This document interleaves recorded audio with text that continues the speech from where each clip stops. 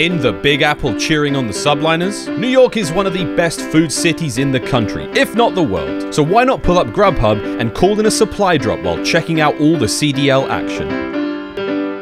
If you're in New York, you're gonna want to try their famous pizza. Ask anyone in New York City where the best pizza is, and you're sure to get an opinion. Whether it's the water, the ingredients, or the brick ovens, New York is home to the best pizza in the country. What better way to show your solidarity with the subliners than chowing down on a few slices? And while you're at it, scroll through Grubhub's perks section to see what savings you can snag. Here's where you can grab some pizza on Grubhub.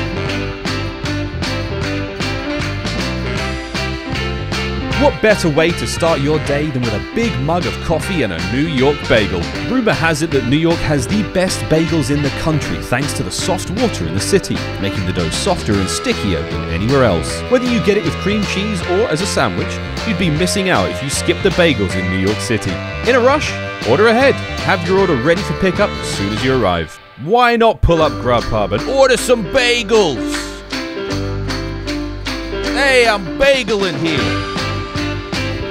While you're ordering up some bagels in the city, you may as well try out a sandwich from one of the hundreds of kosher delis around us. From kippered salmon with cream cheese to pastrami on rye, the delis in New York are famous around the world for their sandwiches.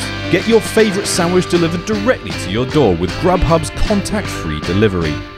And why not try out one of these locations that are delivered on Grubhub with contact-free delivery? I'm delivering here, no touching. That's your supply drop for New York. Yeah, walk it here.